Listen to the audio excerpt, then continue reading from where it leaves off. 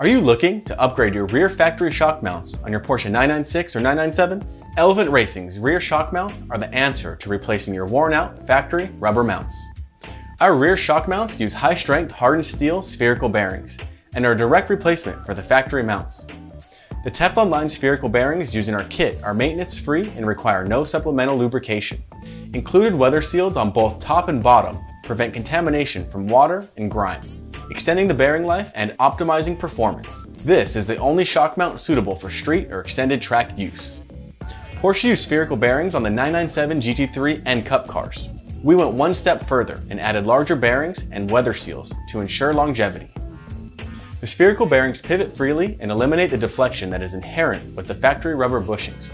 This is important because the factory rubber acts as a spring in series with the shock, this rubber spring action is completely undampened and reduces the shock's ability to control the tire contact patch. The spherical bearing allows the damper to do its job and control the contact patch.